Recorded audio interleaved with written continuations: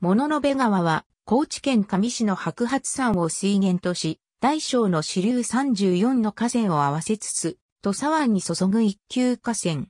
高知県中部を流域として、南国市、江南市、上市をまたぐ、流域面積508平方キロメートルの河川であり、産地が流域の約88%を占める。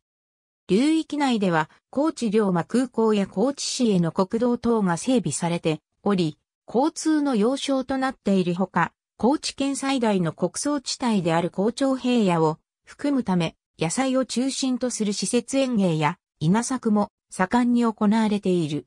河川延長は、三木川 71km、市が 219km の 290km、流域内人口は約4万人。高知県上市物部町、久保影の県産地、白髪山の東表に源を発し南流。上市物部町別府で南西に向きを変え、高知平野東部を流れ、江南市吉川町吉原で土佐湾に注ぐ。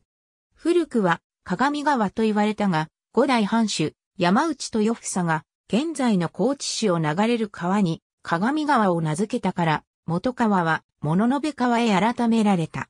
鏡川の由来となる鏡野は上郡の別名で土見門上皇が流刑先の畑から阿波国へ移った途中に物部川を見て現地の人にここはどこかと尋ねたら鏡野と答えたからだと思われる。物部川の物部は飛鳥時代の物部氏の勢力の名残に由来すると言われる。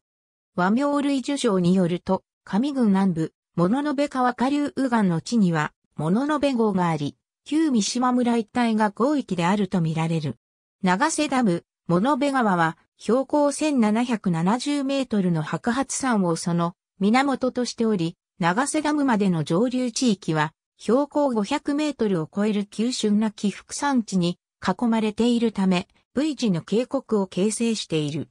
長瀬ダムより下流は物部川の特徴とも言える貸し段丘地形が続き、杉田ダムより下流は広い扇状地が形成され、高町平野と呼ばれる平野部広がっている。特に右岸側は扇状地制定地が形成されているため、想定氾濫区域としては流域外にまで広がっている。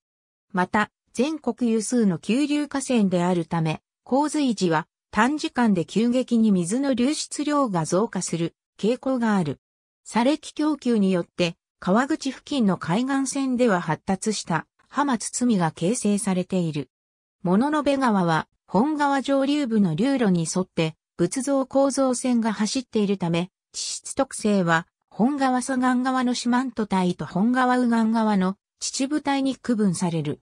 四万十帯は中世代の左岸勝ち、五層から構成されているのに対し、秩父帯では古世代から中世代の泥岩、左岸勝ち、五層や業界岩層等が帯状に分布している。また、下流部の線状地では、氾濫によって運ばれた砂礫が層を形成しており、川口付近ではかつて、浜包みによって水流が遮断す太平洋岩式気候に属し、年間平均気温17度程度の温暖な気候となっている。6月から9月にかけて集中して降雨するため、流域内の年間平均降水量は山間部で 2800mm、平野部で 2400mm を超える、タウ地域でもある。上流から中流にかけて過ぎ、ヒノキが分布し、最上流部には加えて、ブナやシイの木が分布する。源流部の白髪国は、成長な水質が維持され、天然記念物である、日本カモシカをはじめとした哺乳類や昔トンボ、カワセミなどが豊かに生息している。また、標高800メートル以上の渓流では、大台ヶ原山椒魚や箱根山椒魚等の生物が生息している。長瀬ダムまでの上流区間では、清水清酒のアマゴや高早などが確認されている。長瀬ダムを下ると、ヒヨドリ、日本ザル、大紫等が生息する落葉樹林地帯が広がり、河道沿いには棚田が広がっている。吉野ダム、杉田ダムといったダム区間では、水変動の影響により、水生生物の種類は少ない。この区間では、遊漁用に、鮎や鯉などの放流が行われているほか、川ムツ、追い川、うぐい、アマゴなどが生息している。下流域では土砂の堆積により自然立ちが減少し、鶴吉等の草地や赤目柳やえのき等の高木林が発達している。林間、林園、林床などの多様な環境に多種の昆虫類が住み分けて生息し、人目に触れにくいことから、タヌキやサギ、ホウジロ、青ジ等の生物が確認されている。交互サスが形成されている地域では、ヒバリやスズメなどの小鳥が生息しており、特に、戸板島橋の橋梁は、岩ツバメの集団繁殖地として、県下でも知られている。魚類では、鮎や沼秩父などの両側海遊魚が遡上して生息している。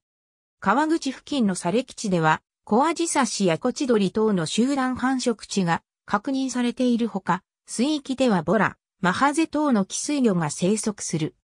轟の滝急峻な地形が織りなす渓谷や、江戸時代初期に野中健山が築いた山田関によって形成された平信など、物部川は特徴的な河川景観が複数存在する。紅葉の名所としても知られ、また、三峰や白髪山登山の入り口となる上二郎川上流にある西熊渓谷は四季折々の渓谷を見ることができる。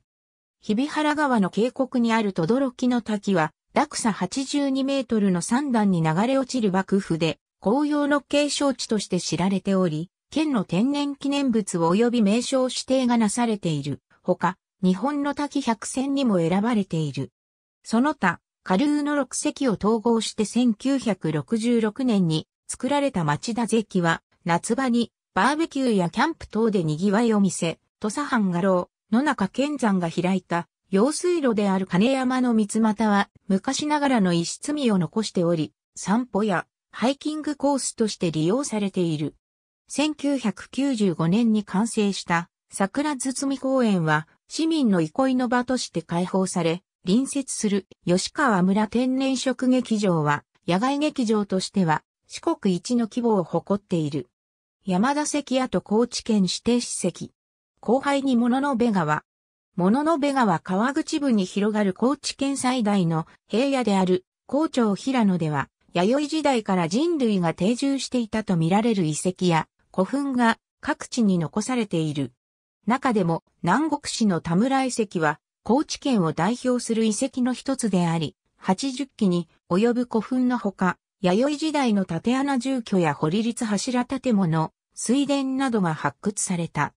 また、飛鳥時代には、物の部氏の勢力圏下であったと考えられており、上市内には同氏を祀る若市王子宮がある。